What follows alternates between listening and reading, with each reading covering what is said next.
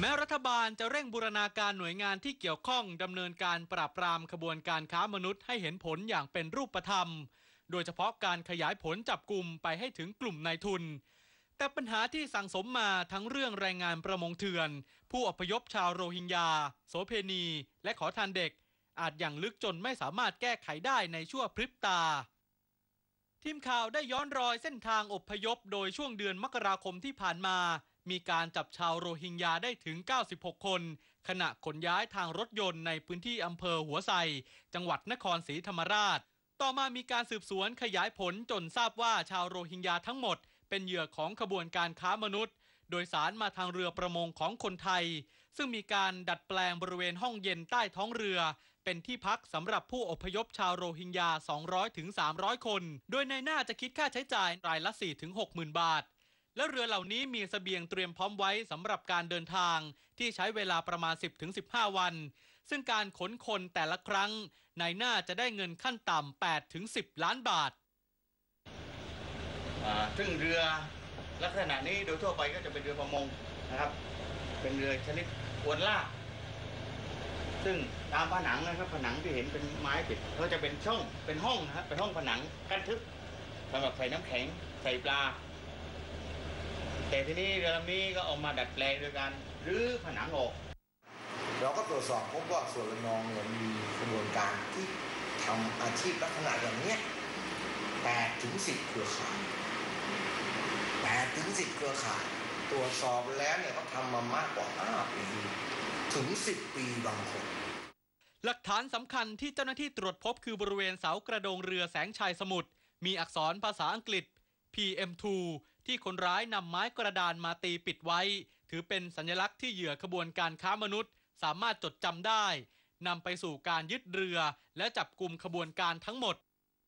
ในห่วง 3-4 ปีที่ผ่านมาเนี่ยเราเก็บฐานข้อมูลต่างๆ ไว้มาก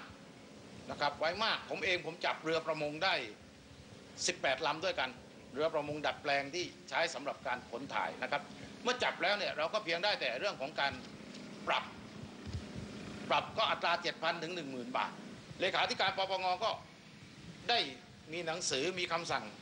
สองคำสั่งด้วยการอายัดบัญชีทรัพย์สินทั้งหมด 121 บัญชีนะครับบัญชีธนาคารมูลค่า 30 ประมาณ 32 ล้านต่อมาทีมข่าวมีโอกาสร่วมลาดตระเวนทางน้ำในพื้นที่เป้าหมายบริเวณเกาะแก่ง ริมฝั่งทะเลอันดามัน อาทิปากคลองละอุ่น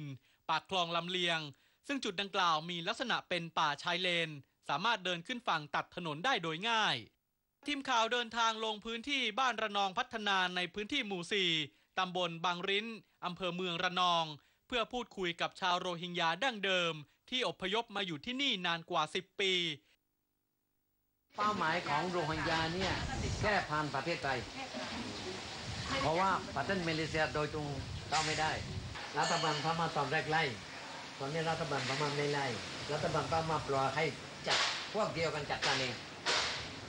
อันนี้พวกนายหน้าโรฮิงญานี่ก็เป็นโรฮิงญาทั้งนั้นโรฮิงญาตอนนั้น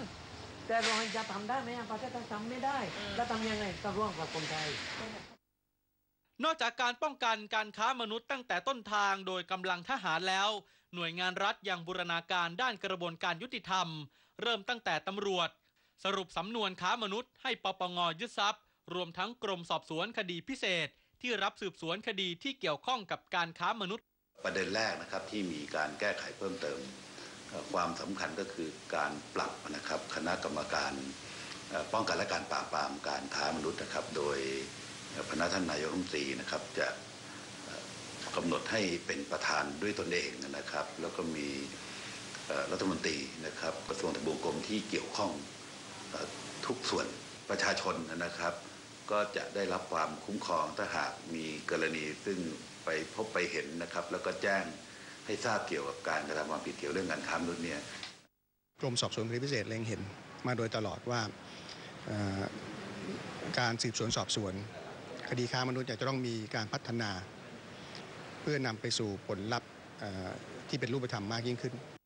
หลังจากนี้คงต้องติดตามดูว่ามาตรการต่างๆ ที่ภาครัฐเร่งปฏิบัติ รวมทั้งรายงานสรุปสถานการณ์แก้ปัญหาการค้ามนุษย์ ที่ไทยได้ชี้แจงไปยังประเทศที่เกี่ยวข้อง